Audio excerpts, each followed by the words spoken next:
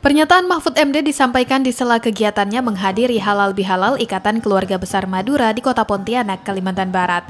Mahfud MD menyebut saat ini sidang sengketa Pilpres yang mulai bergulir pada Jumat kemarin tidak bisa diprediksi karena masih permulaan. Penggugat dalam hal ini Badan Pemenangan Prabowo Sandi baru menyampaikan pokok gugatan atau pokok permohonan. Hasil dari sidang sengketa Pilpres dapat diprediksi jika majelis hakim sudah menemukan fakta di persidangan. Diterima dan ditolak itu beda ya. Kalau diterima itu artinya perkaranya diperiksa karena memang wewenangnya MK. Tapi diterima itu belum tentu dikabulkan.